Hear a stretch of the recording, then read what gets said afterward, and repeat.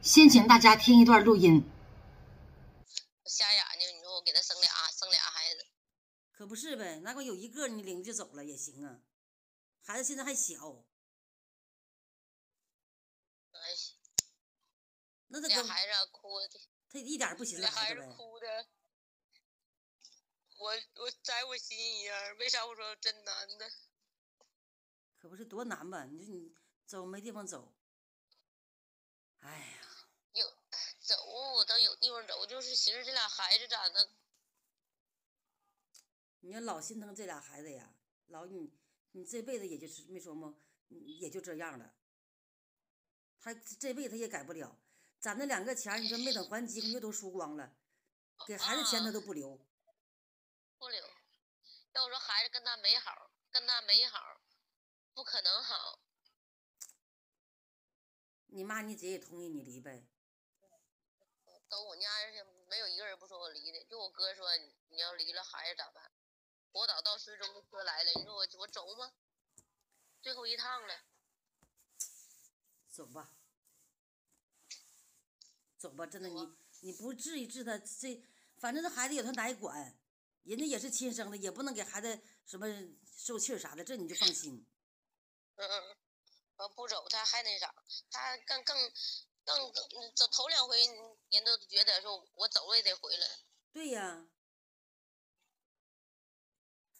哎呀，那我上车走了，上车走吧，我支持你。我都寻思我咋难都行，我不想把俩孩子后半生毁了。等你在外面挣钱，你愣他一年，挣了钱给孩子接走也行。房子也不是你的，啥也不是你的，车也不是你的，都没写你名。你说哪个是你的吧？除了这俩孩子，你最后你就狠下心来吧，嗯，别老心软了。你这一心软，把你这自己这辈子坑了。这就是那样的家庭，他爸是啥都不管，孩子都不心疼，你就跟他过到老，孩子在他跟前，这这样环境长大了，也不一定对孩子好。好啥呀好？你就他自己。哎呀，这个妹子呀，我俩认识三四年了，但是从来没见过面儿。我俩就之间做点小买卖啊，哈，就是以前互相有联系。她有啥委屈可愿意跟我说了。她呢是头一婚离婚了吧？前头那个丈夫也是不顾家呀，喝大酒，完了就跟她就离了，扔了一个男孩儿判给男方了，孩子好像十八九了吧，但是她也管，也给拿钱。嗯，她嫁到这个呢，找这个对象呢是二婚，这个小这个呢男的是二婚呢是个小伙，没结过婚。他到人家呢给人生了两个孩子，生两个小女孩，大的应该是上大班幼儿园了，小的好像刚上幼儿园。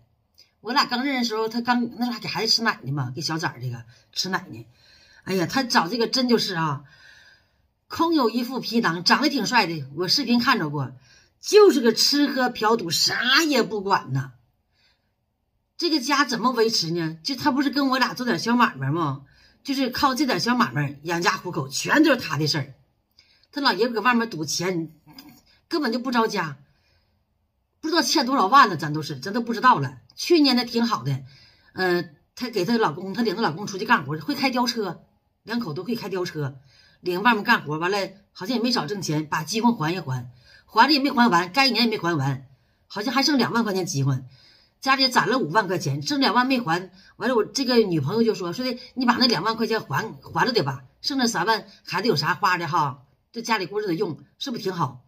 完呢，她老公就没还，结果呢，这个钱呢是她前天的时候先给孩子交幼儿园费呗，上那里取钱去了，一看里面就剩六十多块钱了，五万块钱全是她老公给输了，回来一问呢，人老人家她老公笑么呵的，理直气壮的，嗯呐，输了，输光了。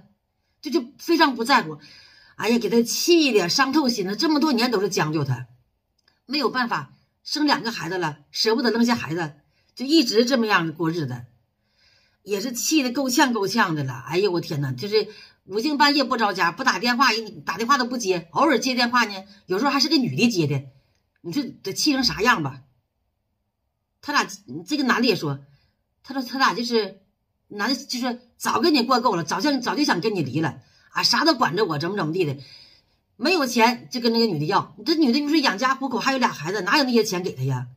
哎呀，就打仗，哎呀，气的说说大姐，你说这回我真狠下心了，我怎么整？说实话哈，我我是给出这个主意，不知道是不是有点缺德。我说你走吧，我真是挺支持你离婚的。他说担心两个孩子，心疼这两个孩子，把两个孩子不坑了吗？我就说你这就这样环境下长大的孩子，对他成长有好处吗？也没有多大好处，是吧？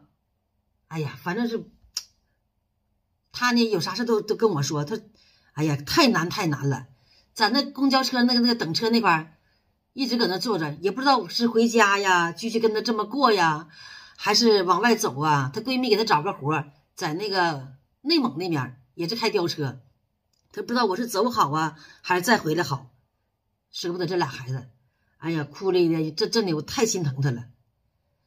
哎呀，他到现在还欠我两千多块钱呢吧？反正总欠，有了就给我点儿，我从来没跟他要过，一次都没跟他要过。我知道他太难了，你这可咋整？大家伙儿，你说我就这么劝他让他离婚，是不是不好？我现在都蒙圈了，因为他这底细我太知道了，太可怜了，太无奈了，太无助了。哎呀，怎么办吧？大家伙也评论评论，也唠唠这个事儿。